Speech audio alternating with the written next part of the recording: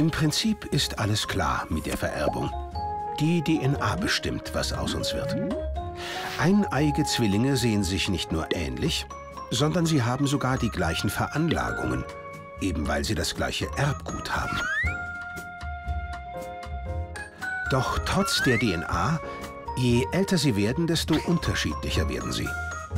Und es gibt sogar Fälle, in denen wird ein Zwilling schwer krank, der andere bleibt gesund. Wie kann das sein?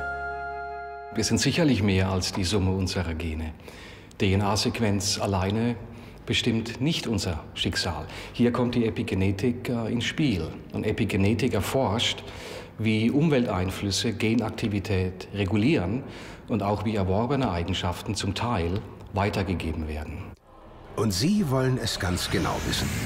Thomas Jenuwein und sein Team am Max-Planck-Institut für Immunbiologie und Epigenetik in Freiburg.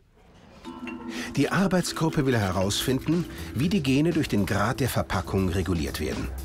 Dafür forscht sie am Chromatin, jenem Komplex aus DNA und speziellen Proteinen, aus dem die Chromosomen bestehen.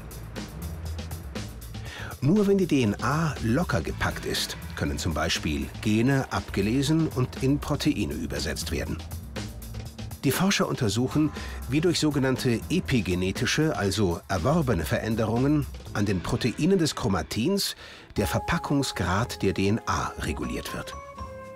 Ein Blick in die Zelle. Die DNA ist ein zwei Meter langer Erbgutfaden, der in jeder Zelle steckt. Damit er dort hineinpasst, muss er aufgerollt werden. Wie bei einer Spule wird er um die Verpackungsproteine, die Histone, gewickelt. Sie kommen immer im Doppelpack als zwei identische Moleküle vor. Wir stellen vor, die Histone H2A, H2B, H3 und H4. Spule und Faden, oder besser gesagt Proteinkugel und DNA, bilden gemeinsam das Nukleosom. Alle Nukleosomen zusammen ergeben das Chromatin. Thomas Jenuwein konzentriert sich auf H3, sozusagen seinen persönlichen Verpackungsgehilfen, und ist damit der Regulation der Gene auf der Spur. Und Gene müssen abgelesen werden, um aktiv zu sein. Und Gene können nur dann abgelesen werden, wenn Chromatin geöffnet ist. Also wenn die Nukleosomen wie in einer Perlenstruktur Platz schaffen, sodass äh, der DNA-Faden abgelesen werden kann. Das ist offenes Chromatin, wie es zum Beispiel einer Stammzelle vorliegen würde. Äh, im, Gegens Im, Gegensatz dazu gibt es auch sehr geschlossenes Chromatin, dicht verpacktes Chromatin. Und da kann man sehen, dass die Zugänglichkeit des DNA-Fadens äh, natürlich sehr begrenzt ist. Rückblick in die 1990er Jahre. Zu der Zeit kannte man bereits ein Protein, das bei der Fruchtfliege die Augenfarbe reguliert. Doch das Besondere, egal welche Augenfarbe die Fliegen besaßen, der dafür kodierende Genort war identisch. Es musste also einen bis dahin unbekannten Mechanismus geben, der zu dieser unterschiedlichen Ausprägung führt. Das ließ Thomas Jenuwein keine Ruhe. Er untersuchte ein entsprechendes Protein der Maus, weil er wissen wollte, welcher Prozess dahinter steckt.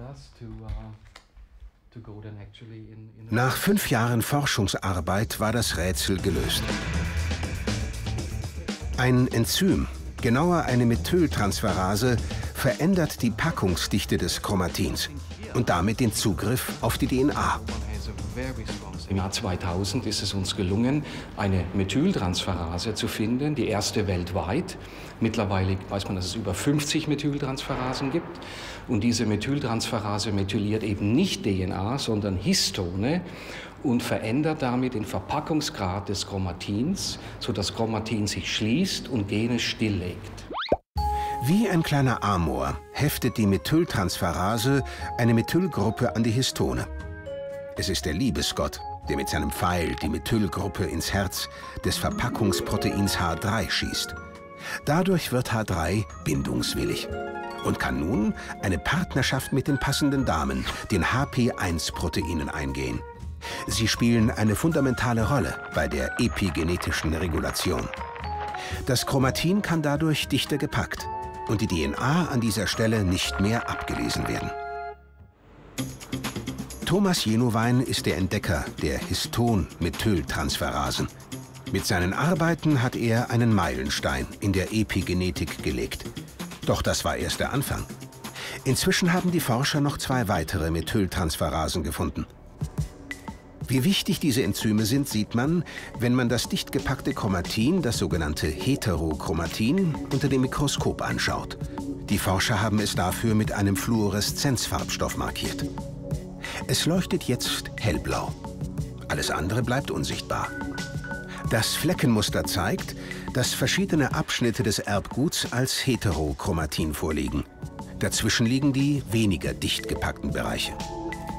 Wenn die Forscher aber die Methyltransferasen in der Zelle blockieren, kann das Chromatin nicht mehr dicht gepackt werden. Es zerfällt.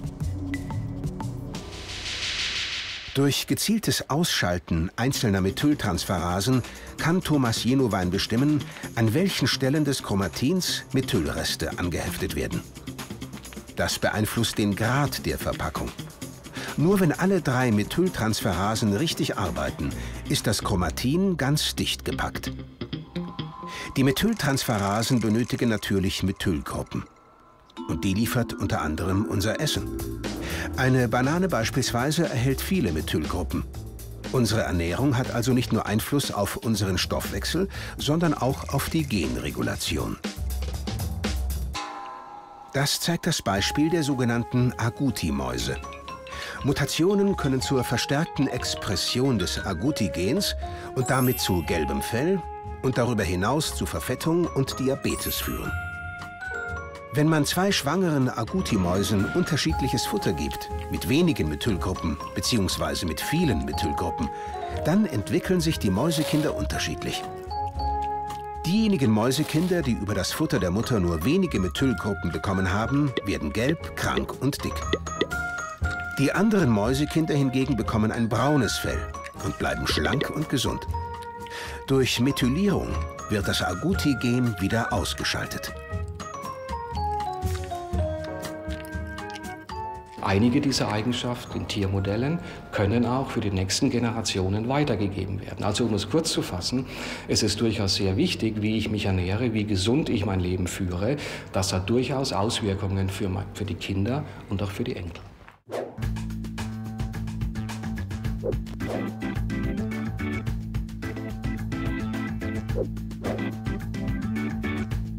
Thank